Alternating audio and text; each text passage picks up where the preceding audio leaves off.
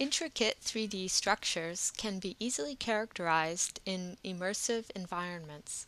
Here we demonstrate analysis of a rock composed of black organic inclusions in white calcite. Data were generated by grinding away 20 microns of the rock at a time and optically scanning each surface. The images were assembled into the volume shown here. The sample is 2 centimeters thick. In Visualizer, the volume can be sliced in any orientation. However, the geometry of features is easier to analyze when part of the sample is made transparent.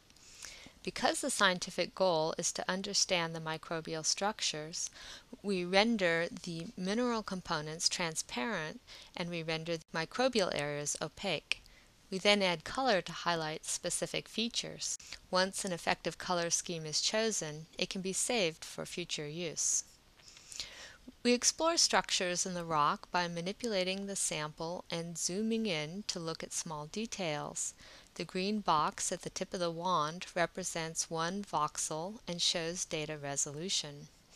Here, there appears to be an isolated patch of organic inclusions. To test this interpretation, the user draws an isosurface around the patch. The irregularities in the geometry of the isosurface are due to differences in color between neighboring voxels. However, the size and general shape of the isosurface represents variations in the density of organic inclusions. With manipulation of the sample, no structures between the isosurface and the external lamina are found. The user then manipulates the color and transparency of the sample to look for a connection. Again, none is found. A second isosurface is pulled through the data from the original surface to one that includes the entire lamina. The rapid jump from the small to the large isosurface demonstrates that there's no connection between the isolated patch of organic matter and the larger lamina. Isosurfaces are also useful for highlighting specific features for measurement. Here, the user produces an isosurface in bridges of organic inclusions that span mineral areas. To aid in examining the shapes of surfaces, the volume rendering component can be turned off. Distance and angle measurements are easily and precisely performed within the data. The user simply places the wand at each point and releases the button. Results are displayed in the menu.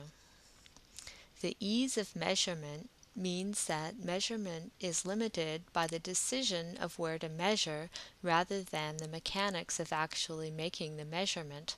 This can be seen in the hesitation of the user placing the second marker in this example.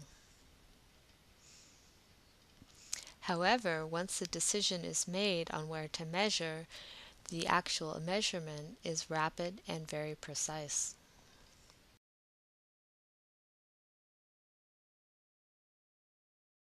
The use of this immersive visualization environment has fundamentally changed expectations for this research project. Now that 3D measurements are trivial to make, efforts are focusing on how to define geometry quantitatively with the goal of using that geometry to extract biological information from the sample. Thanks for watching.